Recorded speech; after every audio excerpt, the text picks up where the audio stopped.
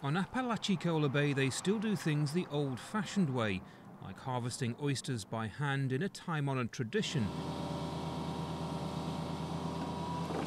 But this is a community facing an ecological crisis. The oysters are drastically declining, and fishing families are now dumping dry shells into the bay in the hope that baby oysters will cling to them and grow. Yeah, he's supposed to be back this afternoon. For fishermen like Sean Hartsfield, it feels like the end of a way of life. I wouldn't want my son out here. I wouldn't want him to have to go through what we, we're going through now. So, um, flipping burgers at McDonald's is better than what it is right here. And it's the delicate nature of a place they call uncommon Florida that's made it so vulnerable.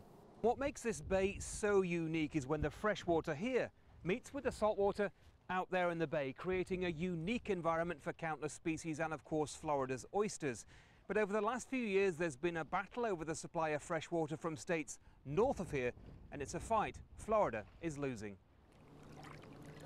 The flow of fresh water has long been locked in legal battles with the states of Alabama and Georgia, who both claim a right to the resource for their own residents. And which is released downstream to Florida is now tied up in legislative arguments.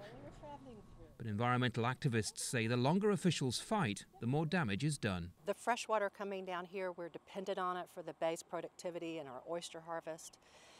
And when that goes, so will that harvest and the gateway to a billion dollar seafood industry in the eastern Gulf of Mexico.